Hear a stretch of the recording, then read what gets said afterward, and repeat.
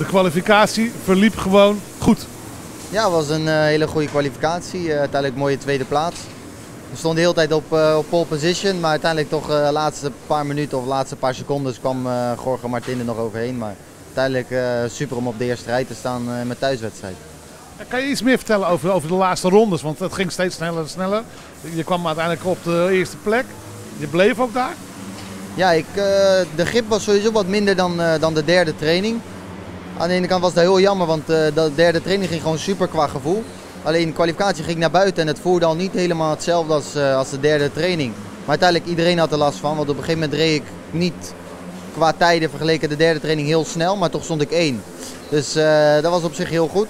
En ik had nog een gat vergeleken de rest. Uiteindelijk begon het wat te regenen achter op het circuit, waardoor het al wat moeilijker werd. Maar ik kon toch heel constant blijven, maar ik kon mezelf niet verbeteren tot uh, de laatste, ik denk vier minuten, vijf minuten dat, uh, dat het echt droog werd.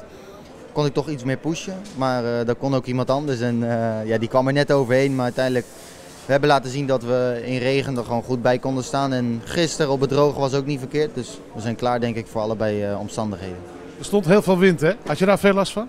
Ja, zeker. In de kwalificatie van mijn gevoel was de wind ook een beetje, was, was totaal niet constant zeg maar. Het kon op een gegeven moment in één keer de ronde schieten en daarom zag je denk ik ook wel veel crashes. En ik denk toch iets met de grip dat gewoon niet, niet super was uh, in de kwalificatie, waardoor je ook heel veel crashes zag. Morgen is het, als het goed is, droog. Het zal niet heel warm zijn. Is dat gunstig voor jullie? Ja, ik denk dat het gunstig is. Ik merk vaak wanneer de motor of wanneer de buitentemperatuur wat warmer is, dat, dat ik in ieder geval uh, met de motor best weinig topspeed heb.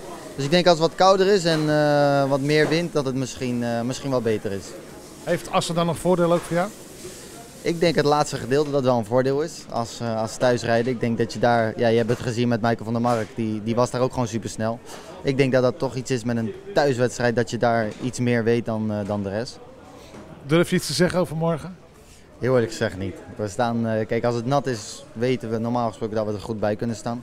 Op droog stonden we er ook goed bij, maar het veld is gemixt. Er staan snelle coureurs Sommigen staan achteraan, sommige wat mindere staan nu vooraan. Dus het zal in de wedstrijd, als het droog zou zijn, een beetje chaos zijn denk ik aan het begin. Maar uh, gelukkig staan wij vooraan en kunnen we meteen knallen. Het is lang geleden in deze klasse om daar een overwinning. Hans Paan, 89. Jeetje man, dat is echt heel lang geleden. Ga jij ervoor zorgen? Je, je legt me nu wel druk op, hè? maar uh, nee, ik ga mijn best doen en ja, het zou mooi zijn.